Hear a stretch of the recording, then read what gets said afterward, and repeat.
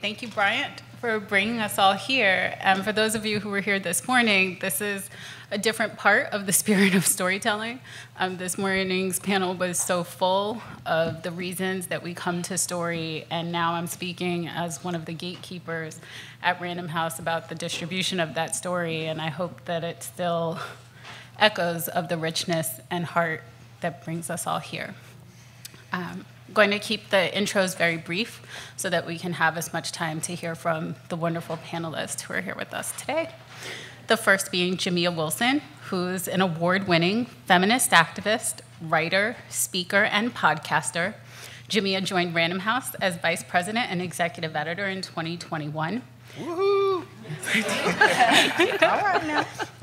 Uh, as the former director of feminist press at the City University of New York and the former VP of programs at Women's Media Center, Jamia has been a leading voice on women's rights issues for over a decade.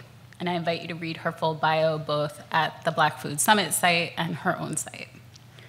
Nicole Taylor, who is a contributor to Black Food. Uh, her recipe for cocoa orange fish is delicious.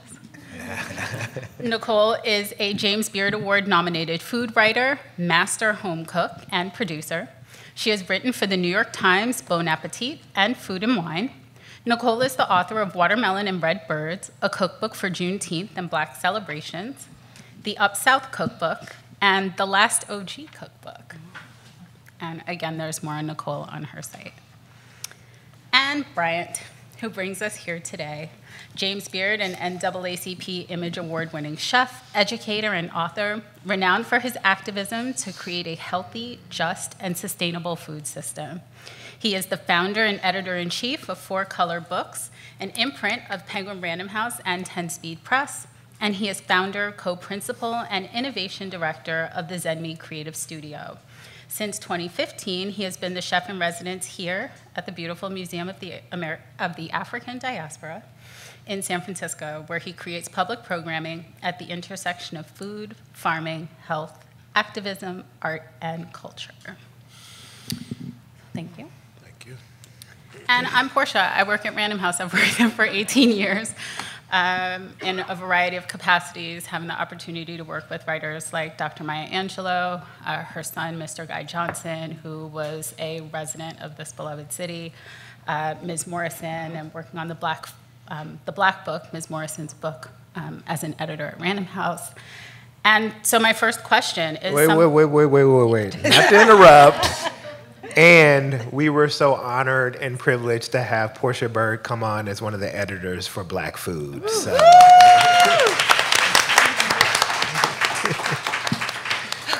yes, that was a huge blessing, and thank you.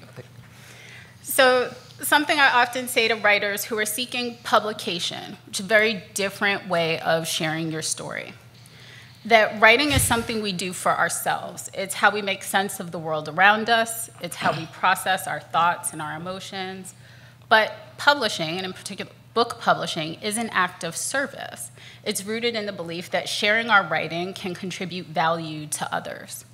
So, to get us started, can you each talk about what drove you to want to publish a book for the first time? Mm. Anyone? I'll start, sure, why not? um, writing a cookbook was the furthest thing from my mind. Being a food writer, I mean, 15 years ago, if you had asked me or told me that I would be a food writer, I would have been like, no, no way possible. I basically wrote the Up South cookbook that came out in 2015 because I felt like it was the right thing to do to keep my career um, going upward. Uh, so many of my friends and colleagues around me were writing cookbooks, and someone said, You should write a cookbook. Uh, I saw value in telling my story and writing down the recipes um, that I hold dear, recipes that really are linked to me moving from Georgia to New York back in 2008. So for me, it just felt natural, like a natural progression in my career. Okay. I write as a form of healing as a writer. So I'm on both sides of the desk. I'm an editor. I've been a publisher in my in my last life, uh, and I am a writer, and I still write. And it's something that I need, like oxygen or water, uh, in order to make sense of my life, my spirituality, and also to connect with my ancestors. And it's something that I know I would do even if I didn't get paid for it. uh, but I need to get paid for it. Uh, don't get it twisted. I just want to be clear about that. Uh, so uh, it's something that is profoundly integral to life. It's why I believe in my tradition that spirit put me here mm. to be a storyteller, to be a communicator to be a conduit of stories for people, to be a midwife of other people's stories. Uh, and I've always been someone who would want to sit at the knee of all the elders in my family. I was blessed to have my grandmothers in their 90s and my great grandmother. And to hear all those stories and to really see uh, how that would transport us between time and space and the veil of life and death, and just have always wanted to lean into that. So when I had the opportunity to publish, it was a nice extension of that affirmation of, oh, this is what you're supposed to do. This is what you're meant to do.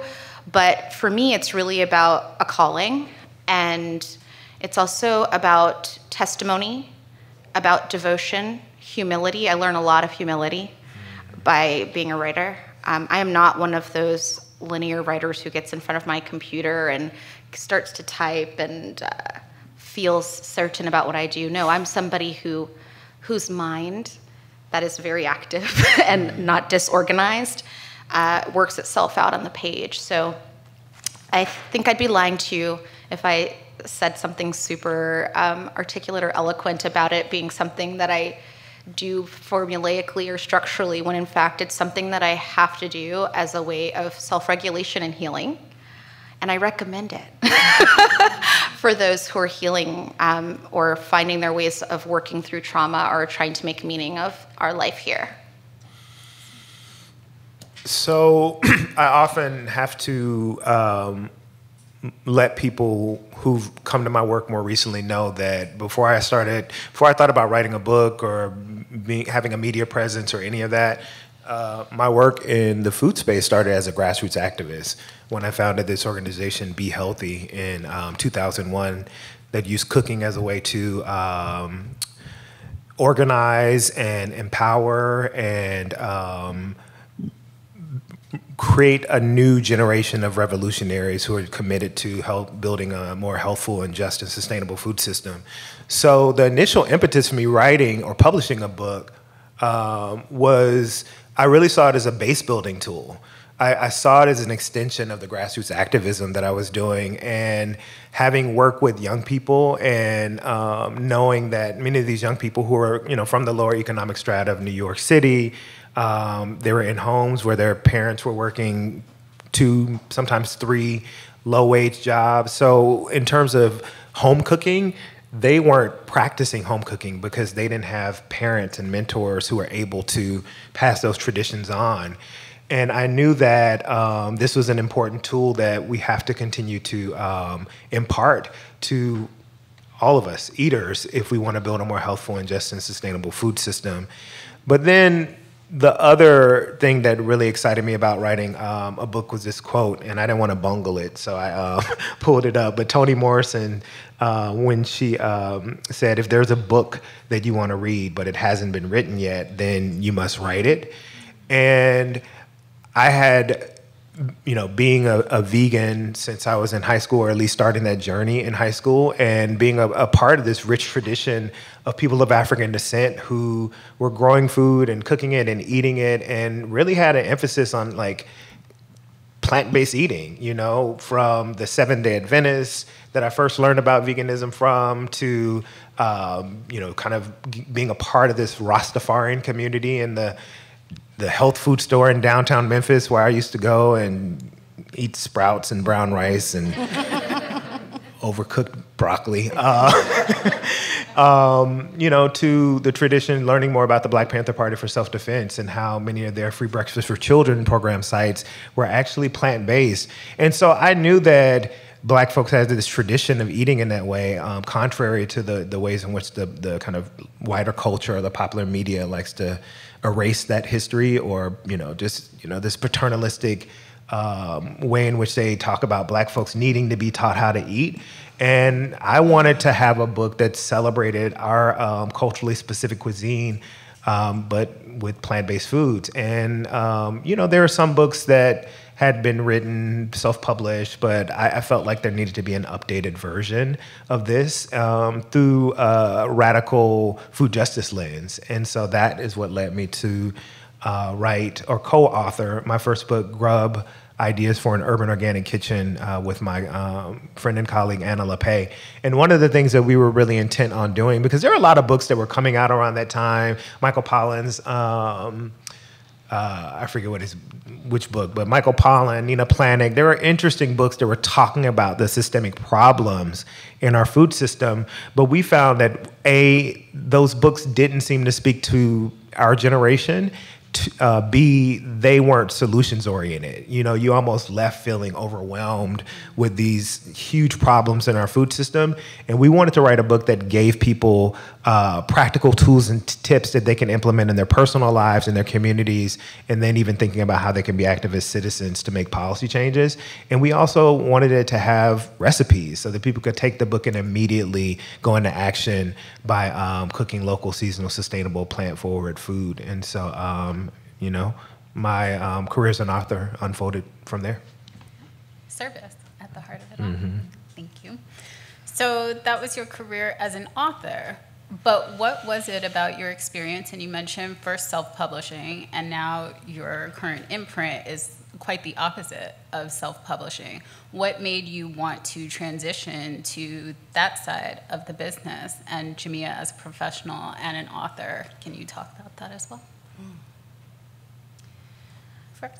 So, one, uh, I wanted to thank Bryant when he was talking about, and I think it connects to this question, what, what it would mean to make the publishing impact to get these books to more people that are really accessible and active. And I want to thank you because my late mom, who was awesome, had left all of these dog eared copies of her books and cookbooks, and many of your books are among those that I have now with her notes. And she really attributed her first remission to transitioning to a mostly plant based diet.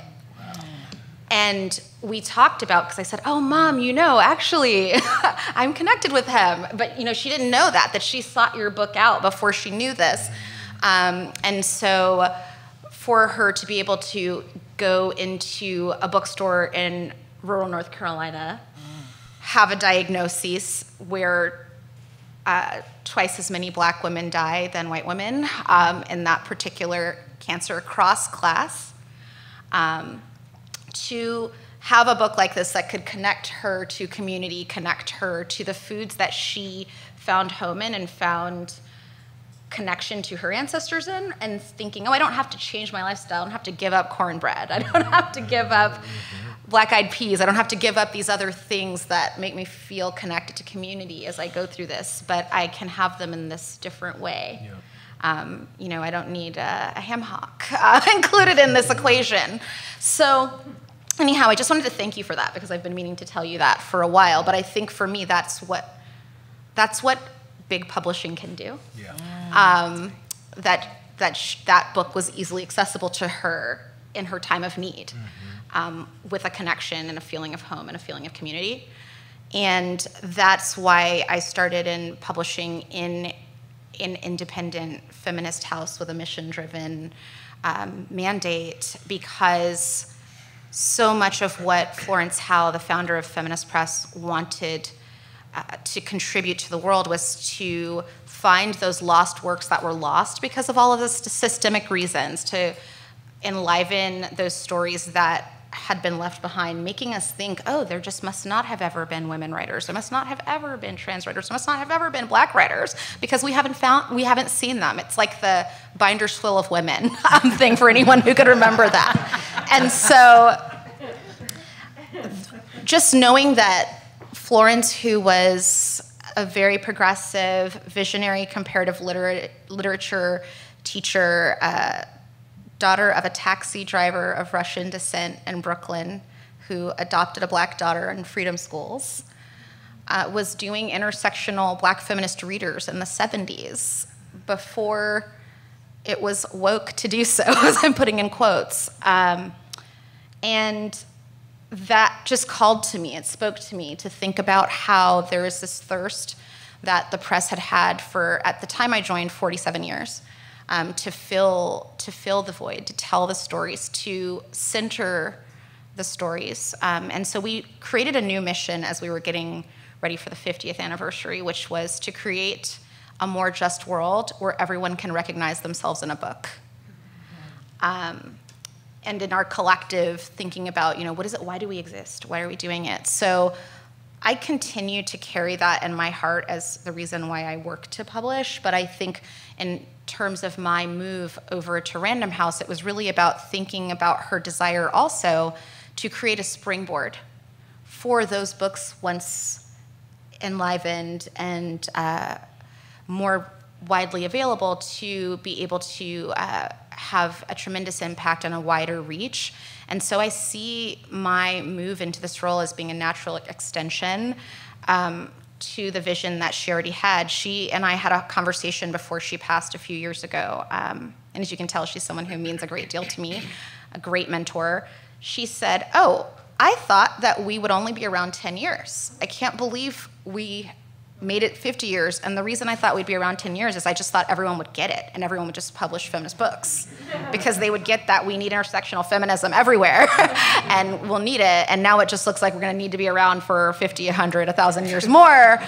But um, I think about that a lot too that, that we need people doing that really important focused work in those spaces. And we also need people in all spaces who are bringing that eye and those questions to places where there is a platform and, and there are resources to widely distribute and um, widely promote with deep impact all stories. So that's one of the reasons why I think it's important for everyone who's thinking about where they want to find a home for their book um, to consider who is my audience? Who am I trying to reach? That I don't necessarily believe there's one best publishing experience, but I do believe there's a best publishing experience for you. Um, and that's another reason uh, why I'm also leaning into this work on, on the production and publishing side. Thank you, Jamia. So, you know, in order to talk about my desire to become a publisher, we have to go back to a book. It was a book that really launched my publishing career, and I saw the power of um, the way in which information being spread could just create these connections that one might not even have ever imagined. And I, I do want to say that because I, I think I have the one of the reasons I'm so excited about being a publisher now is I have the experience of uh, being an author of six books. And so now, in addition to being like a publisher and building a team and working with an amazing team at 10 Speed Press, I have um, the capacity to coach and really work with the authors closely and coach them through what I've been through a number of times. But I want to say for um, people who are interested in publishing, um, at least share my experience that it's always been a very spiritual experience. And in terms of, you know, me even entering this work around food systems, it was it, it came out of a lot of like deep contemplation and meditation and a spiritual practice that led me to this. And I think that that deep spiritual work also led me to um, then, you know, become an author because it helped me to slow down and be more mindful and present with the connections and the people I'm meeting and the signs and symbols. So there's this book that came out, The Future 500. Mm-hmm. Um, probably, you remember that book? Mm-hmm. So yeah, it was this book that came out around 2000, 2001, but it was um, kind of capturing like all the youth activism that was happening in that historical moment. And my organization that I founded, Be Healthy, um, we were featured in the book, and we were upstart, you know, organization, barely had a pot to pee in, but um, so because of that, it had my home address. We didn't have an office or anything. and so uh, Anna Lappé, who I went on to um, co-author Grub with, she lived um, near me in Brooklyn and read about the organization and saw that we lived near each other and just kind of reached out, cold call, like, hey, we live near each other. I do all this work around, you know, food systems and, you know, hunger and nutrition and whatever. And so let's meet up.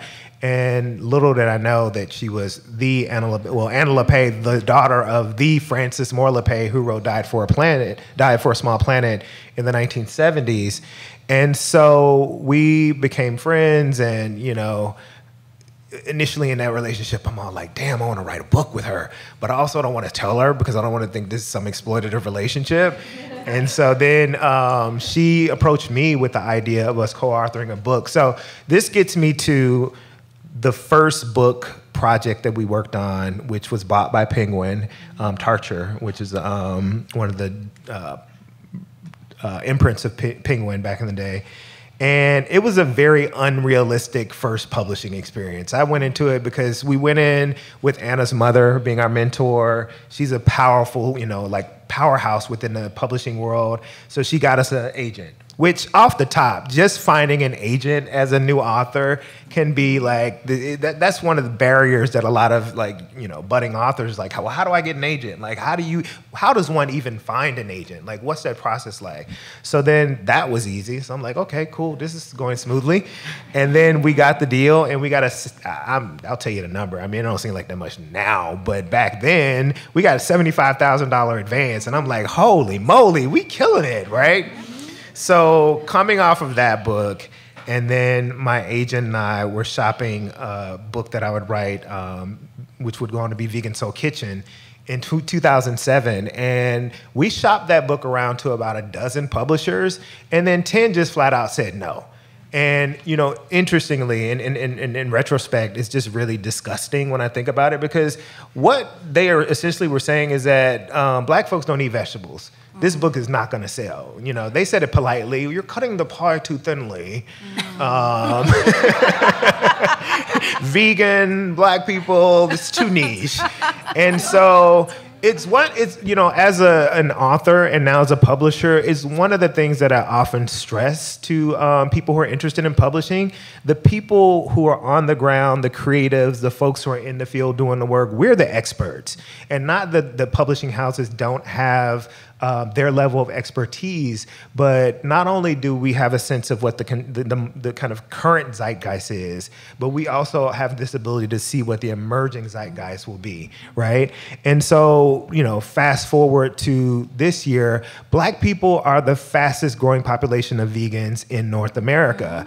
But back then, it was just like they couldn't many of these publishers couldn't see that this would have like some viable audience. And um, so you know finally got a deal um, from a publisher who believed in what we um, were doing.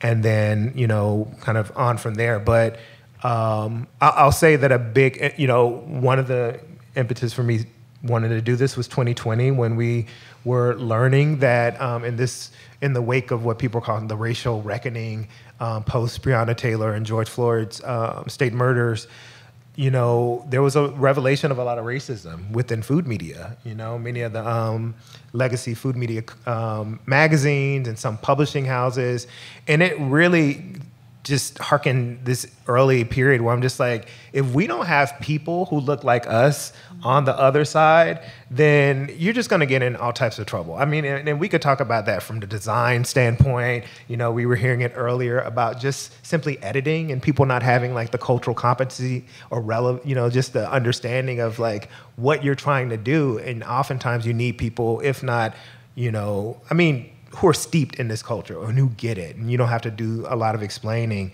And so I just want to uh, pay it forward. You know, I feel like I've been so blessed and honored to be in publishing, and I know there are a lot of diverse and interesting stories that um, should be told. And I want to continue to um, use my power and platform and privilege to support uh, people who need to get the work out there. Thank you, and thank you both for doing that. All of us up here are representing a particular portion of that publishing world. I mean, you're the publisher, so you represent all of it. Congratulations again. It's wonderful to be able to say that. Um, who isn't here, and as someone, a part of my job is both editorial, but I also work on a lot of diversity and equity and inclusion initiatives for the company. And one space where we are still super underrepresented demographically is with publicity in particular. So you can have an editor, and I've had, you know, some of my authors have said this. They're so excited to work with me editorially and know that their, you know, language they will put on the page that I get and will continue to fight for through copy editing, but then are very disappointed when it comes time for their publicity campaign and their podcasts aren't reaching the audiences that they had in mind when creating the work. Nicole, I would love to ask you, as someone whose cookbook came out very recently, yeah. um, what your publicity experience was. I mean, um, people in the room, how many people have their copies of Watermelon and Redbirds? Woo. Okay, we need more hands up. I mean, if you don't have a copy, I'm almost positive that you actually either saw me on the Today Show or saw me in the San Francisco, read about me in the San Francisco Chronicle or the Washington Post. I was everywhere all over this this summer and even now. Uh, but I'll, I'll have to go back a little bit because my introduction, I was trying to keep it short, but I should have kept it long about how I came about about how I came in this space. I actually had a podcast pre podcast boom. Um, so from 2009 all the way up to 2014, I hosted a podcast on Heritage Radio Network, which is still a very indie food uh, radio uh, station. And I built a community. Um, I lived in New York City for almost 20 years, split my time back and forth from Georgia, but I have deep connections with people. And so when I did my first cookbook and I had a little bitty small advance, and really the publisher did not put any marketing dollars behind that, um, I used my community. Uh, I didn't sell a bunch of books, but I worked worked the room. Um, when the last OG came out, which is a very different scenario and that I should share. So I was basically what they call work for hire.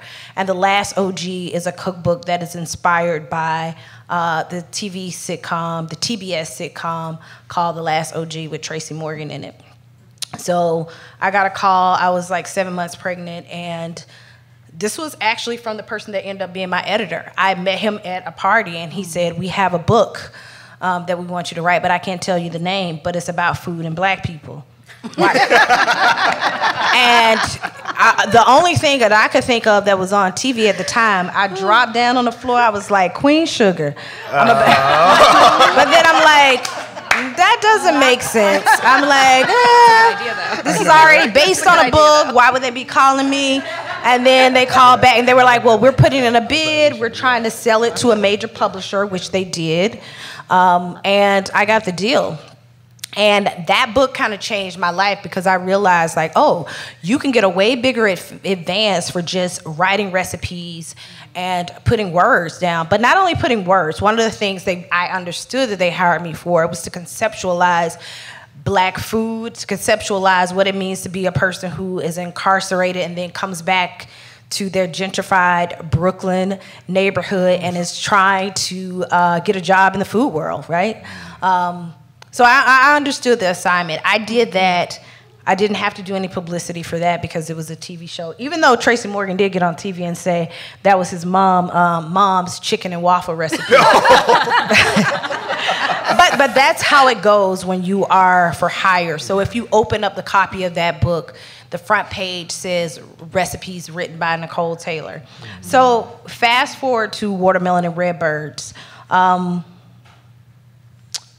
I must say, I've had a beautiful collaborative experience working with Simon and Schuster's publicity and marketing team. Um, so much so that all of my cookbook author friends were like, you know, they don't send you on tour anymore. They sending you on a book tour. Um, and I'm like, yeah. Uh, but I will say that I was able still to leverage my contacts when it came down to publicity and marketing. And I made sure I made my voice heard very early on that I just didn't want them to do everything that I wanted to be in the mix of what they were planning.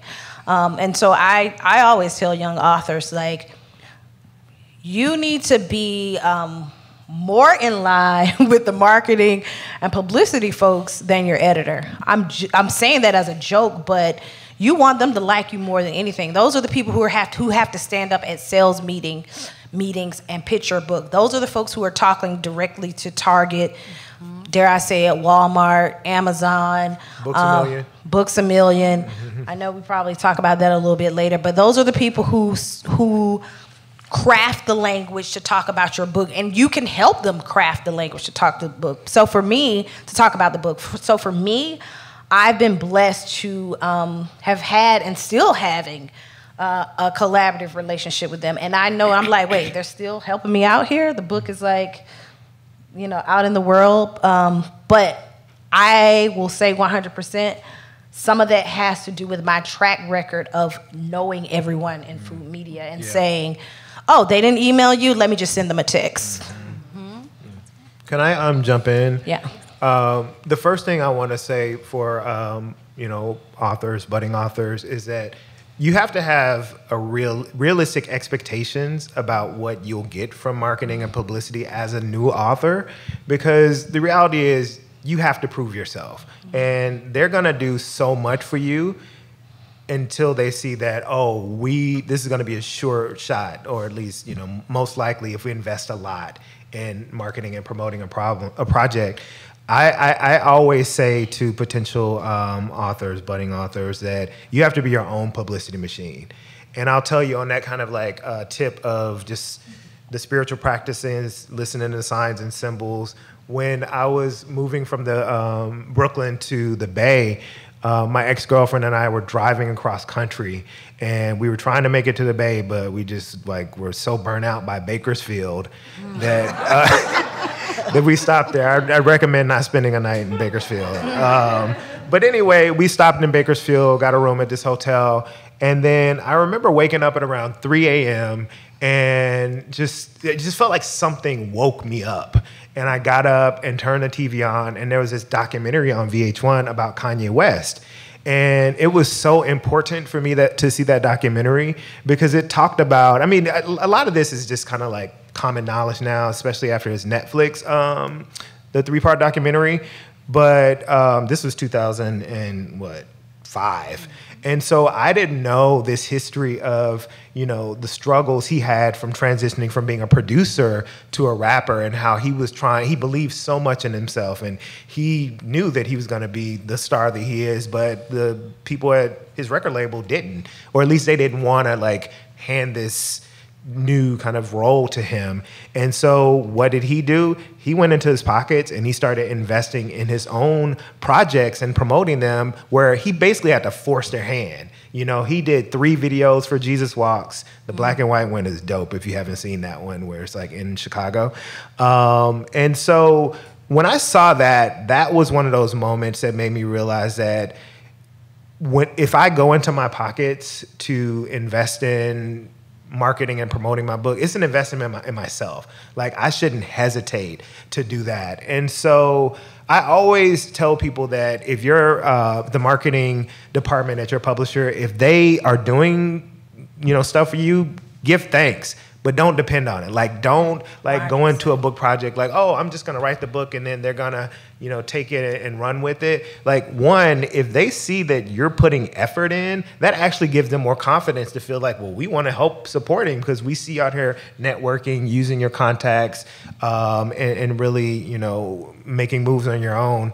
But to a point that we spoke about earlier, oftentimes there are these outlets and individuals and journalists and connections that they may not have any idea about that we have to bring to you know their attention. We need to use our contacts. We need to you know let them know that yeah great sure you want to get me in people magazine but i want to be in ebony and jet and i mean i don't know if that works anymore. But as an example you know being in the more like um, culturally specific media that may not be something that they typically will um, focus on. So I think it has to be that kind of meeting where you trust their um, experience because that's something I had to learn also is in the hard way, which I, I, I try to impart to um, authors. We talk about this a lot, just this new generation of genera- uh, the Generation Z um, um, creatives.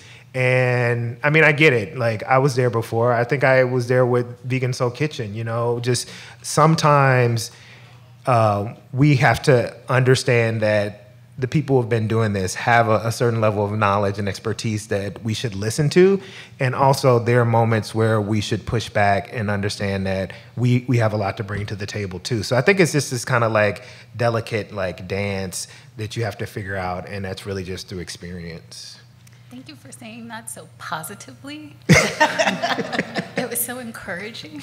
Um, because from where I sit, you know, I can think about the E.L. Doctorows, right, who would sit at a table and say, no, my job is to be the writer, and I put it in the hands of the machine so that the machine can go ahead and sell it. And that's definitely a space of privilege. And so then on the other side, the authors who are having the opposite experience feel pretty upset. And so to hear that actually it is empowering to have that information yourself and to be able to share that with the machine, not even just so that you benefit, but again, then all of the others who will come after you, those dreaded comp titles that we mm-hmm. need to publish to, will also be able to benefit from that work. Just thank you for doing that. Yep. Before we open this to questions, because I'm sure ah, many of you have them, I do want to ask one thing about that's kind of related to this question we're talking about with regards to publicizing and who your audience is and how to reach them. And because each of you are a part of the big publishing machines, how do you balance centering the diaspora mm. in the work that you're doing while also inviting everyone across cultures mm. to access your work? Especially, I think about Watermelon that as a cookbook, it started as a Juneteenth cookbook, yeah. but then your subtitle also says, and Black celebrations, mm-hmm. to broaden that out from being one day to being year long. Yeah. How do you experience that? Uh, watermelon and Redbirds, a cookbook for Juneteenth and Black celebrations. Uh, the number one question I would say I get beyond what, tell me about the Redbirds, is, is this book for me? Um, and I always says, yeah, yes, it is. Uh, I will say though that there was no hesitation when I was having a conversation with my first editor. I'm on my third editor um, with this book. Uh, when I said I want to broaden this book, I want to give it some legs, mm. and we added uh, Black celebrations. Um, I, when you read the head notes and the essays, I am speaking directly to black people. Um, but I also put in plenty of cultural cues that I'm saying to all Americans that you are a part of this story. You can be a part of honoring Juneteenth. Um, but to answer your question more specifically, uh, yeah, I knew from the very beginning that I wanted to write exactly how I talk, okay? I wanted to make sure that the black vernacular was in there when it could be. Uh, I wanted to make sure if someone in the audience that knows me that it sounds like a, a phone call with me or a voice memo with me. Um, so I was clear about that. And I think because of the racial reckoning of 2020, Nobody, nobody said no. There was no pushback. But I'm gonna keep it real. If that was 2014 or my previous books, there would have been pushback, 100 percent. So can I get nerdy for a second?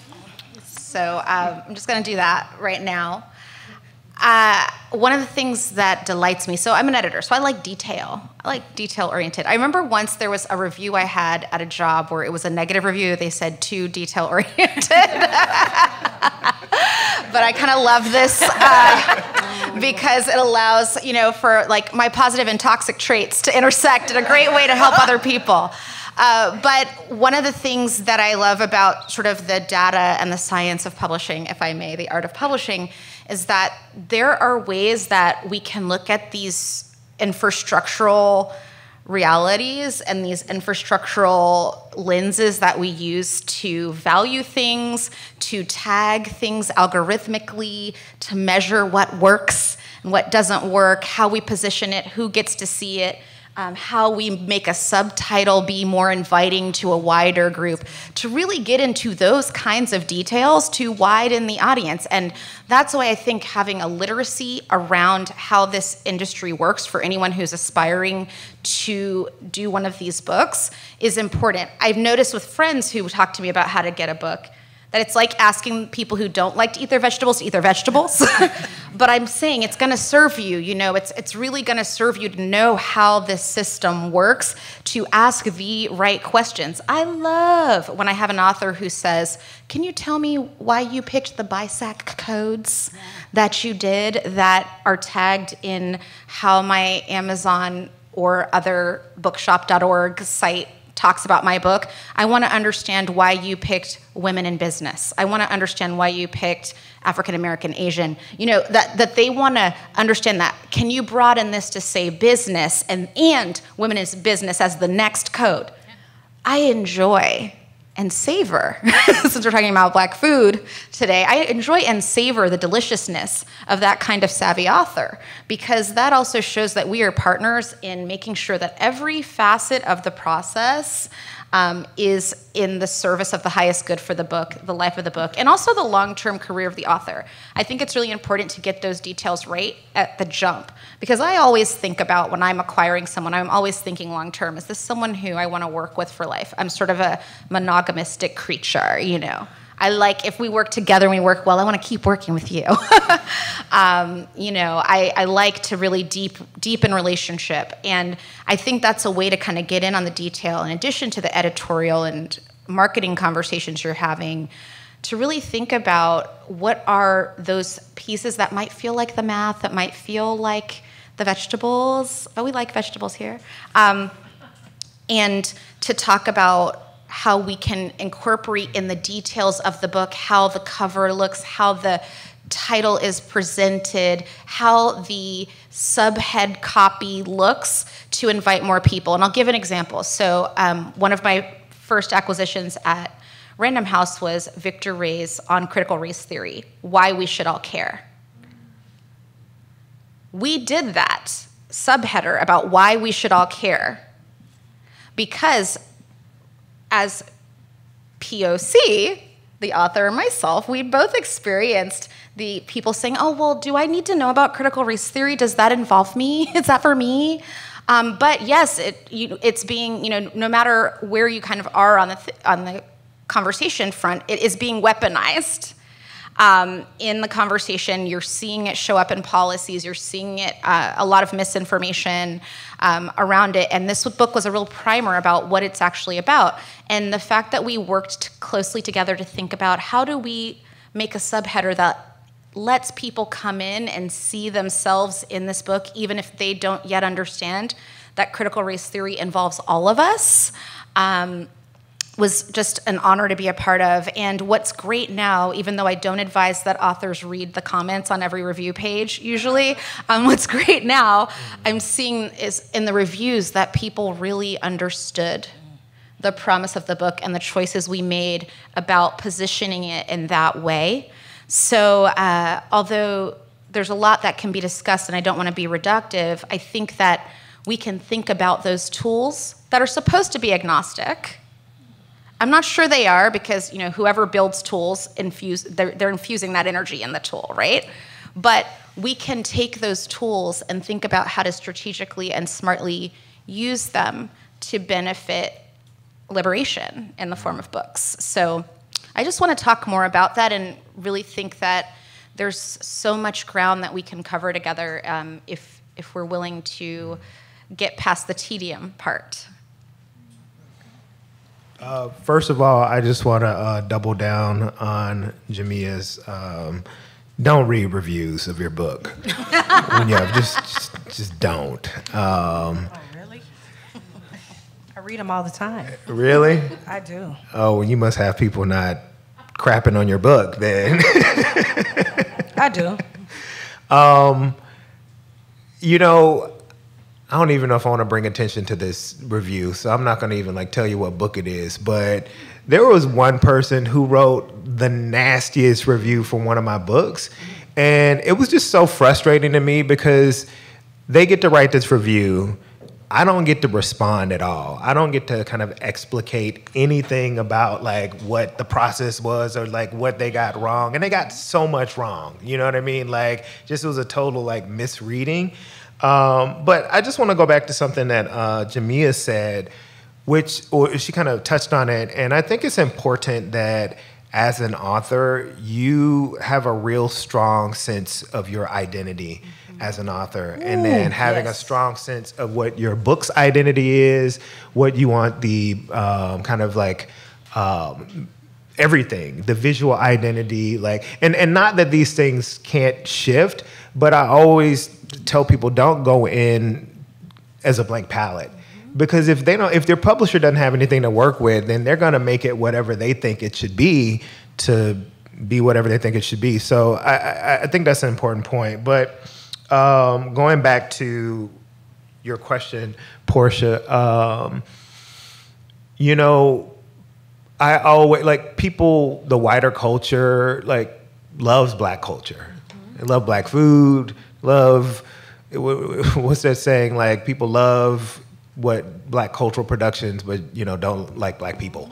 And so one of the things that i was very clear about when i reached out to the you know more than 100 contributors to black food is that so often we have had to write and create things or not have had to but we felt like we have had to for various reasons to um, create through the the the um, white gaze.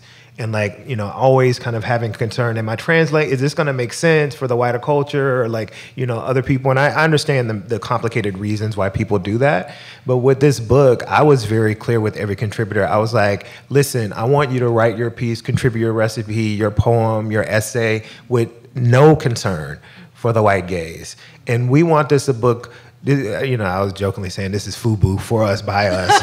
and, you know, it is because I'm like, look, we want to have a conversation among each other and we'll invite everyone into it. And I know that there wouldn't be any hesitancy for people coming in. And I think people want authentic stories, they want to be immersed in culture. I mean, one of my favorite films is um, the Korean film uh, Parasite to the dismay of my wife because I watch it like once a week. But uh, but you know, I mean, this is a culture that I'm not familiar with, but it's such a compelling story and it's so well done and cinematography. And so I think that for me, I knew that if we approach black food in that way, where we're just letting people be who they are, they're telling the real deal, that it would resonate with people because they want to feel that. And you know, I I mean, look, I know that this book has a diverse reach, but a lot of white people buy my book. They send me messages and comments and emails. And so I think that it's important that we create these works in the most authentic way possible. And I think people feel that. People can tell when you're kowtowing or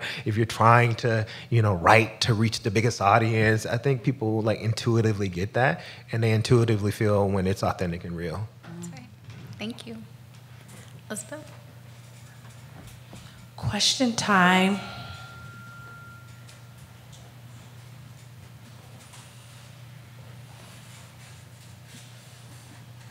I just want to thank each and every one of you. You're providing church and the gospel, and I greatly appreciate it. with that being said, for aspiring authors, do you think it's better to test the water with your concept and self publish, or do you need to invest more time in building community? I would say you could do both. Uh, I actually self published about three zines around black travel and food before or after my first book. I can't remember, but I wanted, I was having a crazily, I was pitching a lot of black travel stories to big publications, and they were like, nah. And I'm like, you know what? I'm gonna do my own zine on Philadelphia and things that I think that are important in Philadelphia. I'm gonna do my own zine on fried chicken in New York City. So I would say you can self-publish. I mean, maybe not do your whole book, but what other things you're interested in, and you could do very lo-fi and do a zine or whatever concept. And community over everything. That's my motto. You can't accomplish, um, you know, book sales and you know, events like this without a strong community. So community over everything for sure. I love this question. Uh, I think when I, I, have friends ask me almost every day, or friends of friends, I'm sure you all have this too. Uh, I, I got to get a book out there. Should I do? What should I self-publish? Should I not? What, what should I do? How do I get an agent? I get those questions a lot. And one of the things I like to ask people first is, what is your goal? Mm-hmm. I think that having a really sharp vision about what your goal is helps you answer that question. Who are you trying to reach? How are you trying to reach them? Um, how many copies of the book do you want to sell?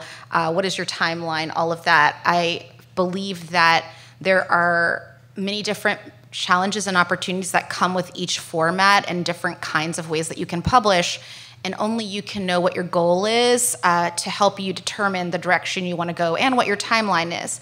Um, and sometimes people are just saying, oh, I'm having a real material reason to get a big deal right now.